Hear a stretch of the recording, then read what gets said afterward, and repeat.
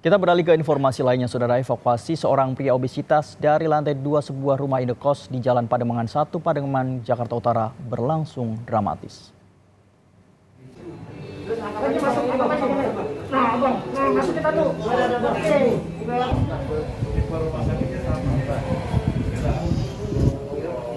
Tidak mudah bagi petugas mengevakuasi tubuh Denny William dari kamar indekosnya. Selain ditandu, petugas juga menggunakan tali agar tubuh Denny yang mencapai 200 kg ini tak jatuh saat dievakuasi melalui tangga menuju ambulan.